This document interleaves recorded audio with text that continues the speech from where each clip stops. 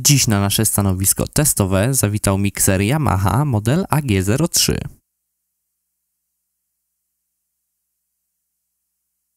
Można uznać, że jest to mikser hybrydowy, ponieważ konstrukcja ta łączy zalety obu typów mikserów, yy, czyli mikserów analogowych oraz cyfrowych.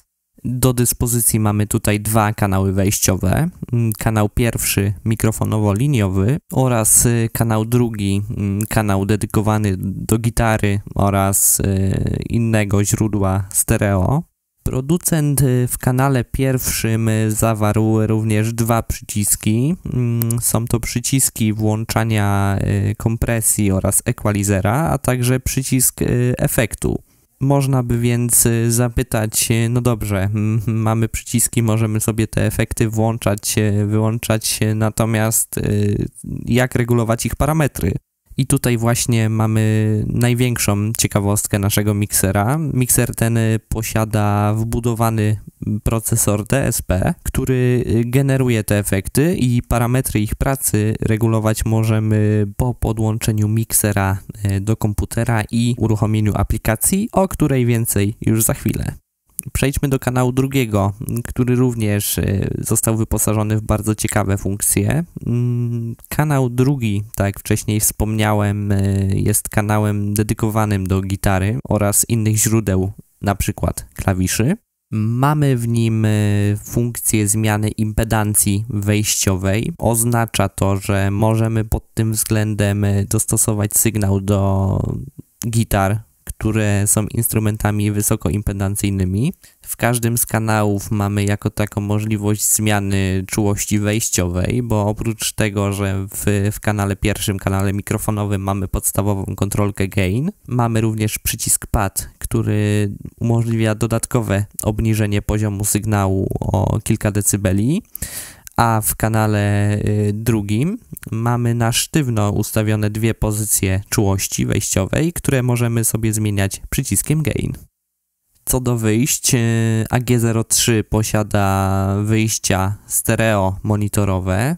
Są to wyjścia oparte o gniazda jack oraz y, równoległe wyjścia cinch, wyjście słuchawkowe oraz wejście na przełącznik nożny, y, który umożliwia włączanie oraz wyłączanie funkcji miksera, o których mowa w ostatniej części filmu. Poniżej mamy przycisk włączania oraz wyłączania miksera oraz y, bardzo ciekawą rubrykę, która nazywa się headset.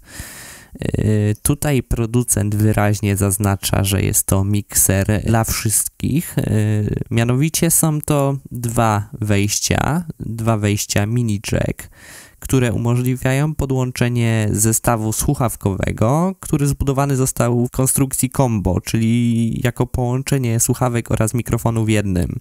Konstrukcje takie mają często na wyjściu dwa gniazda, mm, gniazdo słuchawkowe oraz osobne gniazdo, często o kolorze różowym, które jest wyjściem mikrofonowym.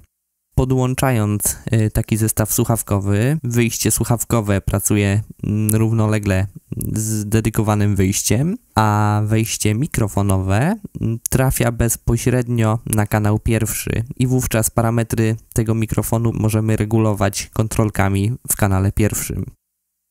Poniżej mamy wejście stereo AUX, które trafia do kanału 3.4 jako że mikser ten to również e, interfejs audio. Mamy tutaj e, trzy pozycje, które zdecydowanie ułatwią pracę osobom, które prowadzą własne audycje lub też posiadają własne radio internetowe ponieważ e, zmienić tutaj możemy rodzaj, w jaki sposób wysyłane są mm, ścieżki do naszego komputera.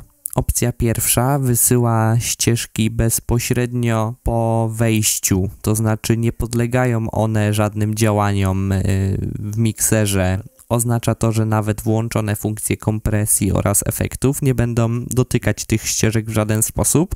Na wyjściu w naszym komputerze uzyskamy surowy sygnał.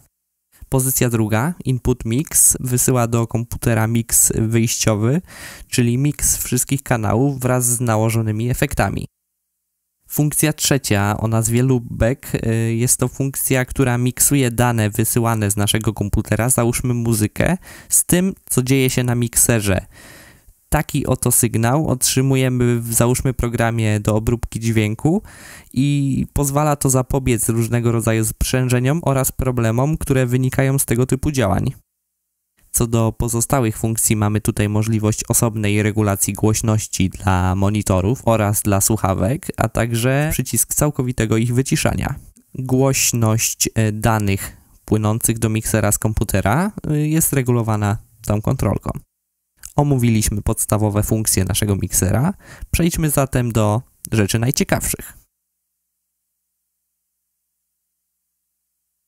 Po zainstalowaniu aplikacji AGDSP Controller, którą pobrać możemy za darmo mm, z oficjalnej strony producenta, y, naszym oczom ukazuje się wersja uproszczona interfejsu, czyli wersja Easy, jak to producent tutaj deklaruje tej wersji mamy do dyspozycji tylko i wyłącznie trzy pokrętła. Są to pokrętło głośności wejścia mikrofonowego, pokrętło ilości mm, nałożonej symulacji wzmacniacza gitarowego, ponieważ mamy tutaj do dyspozycji taką symulację oraz y, kontrolkę głośności efektów dodawanych do wejścia mikrofonowego.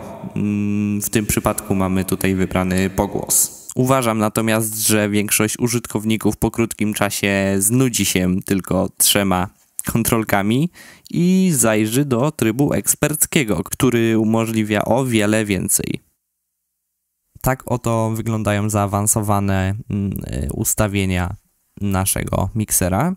Mamy tutaj rzeczy, o których wspomniałem podczas prezentacji analogowych funkcji tego miksera.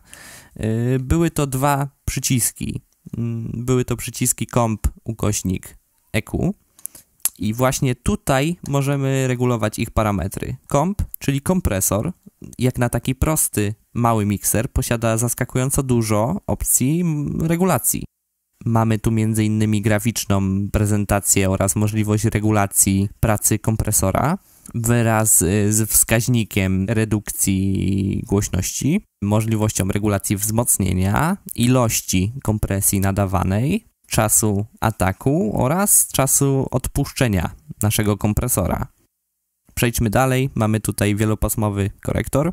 Pracę tego korektora możemy regulować sobie przy pomocy czterech pasm. Znów przedstawionych bardzo wygodnie graficznie, co ułatwia pracę nie tylko początkującym użytkownikom. Możemy oczywiście regulować ilość podbicia, a także szerokości naszego pasma. Te same ustawienia znajdują się na kanale drugim. Warto wspomnieć, że ustawienia te zapisują się, czyli jeżeli teraz odłączymy nasz mikser od komputera i podłączymy go jako mikser Mm, załóżmy analogowy, możemy przy przyciśnięciu tego przycisku y, przywołać y, zarówno kompresję, jak i efekty. Każde y, z wejść, czy to wejście pierwsze mikrofonowe, czy to drugie, trzecie, możemy wysłać do procesora efektów, mm, a także zmienić ich panoramę. Przejdźmy do efektów. Tak samo jak w poprzednich przypadkach mamy tu bardzo wygodną i przede wszystkim ładną reprezentację naszego efektu oraz możliwość konfiguracji jego parametrów pracy. Mamy tutaj naprawdę mnogość y, parametrów, bo możemy tutaj zarówno regulować podstawowe funkcje, jak długość naszego efektu pogłosowego, gęstość naszego wirtualnego pomieszczenia, a kończąc y, na podcinaniu wysokich y, oraz niskich częstotliwości w efekcie czas reakcji mm, pogłosu oraz wiele różnych parametrów. Naprawdę sam fakt, że o samych efektach można by nakręcić wręcz osobny film jest dosyć dużą pochwałą dla producenta i wyraźnie widać, że w opracowanie procesora DSP naszego miksera włożono naprawdę dużą ilość pracy jedną z najciekawszych, przynajmniej dla mnie, rzeczy, których nie spodziewałem się w tym mikserze, jest y, symulacja wzmacniacza gitarowego. Mamy tutaj do wyboru jakby dwa kanały, high, low oraz podstawowe dla wzmacniacza gitarowego kontrolki. Jak brzmi ta symulacja? Posłuchaj.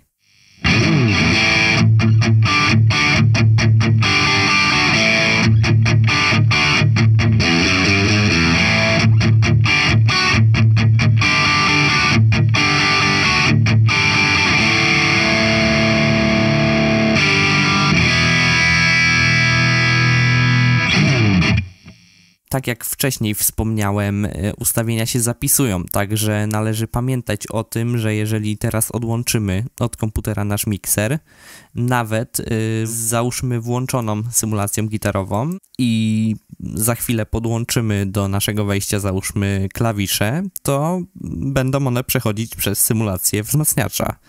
Warto o tym pamiętać, ponieważ nie mamy osobnego przycisku do tego wejścia, żeby uniknąć nieprzyjemnej wpadki na scenie. Osobiście uważam, że e, mikser Yamaha G03 pokazuje, że za niewielkie pieniądze możemy otrzymać naprawdę wysokiej jakości i dopracowany, co najważniejsze, produkt, do czego zobowiązuje choćby marka Yamaha.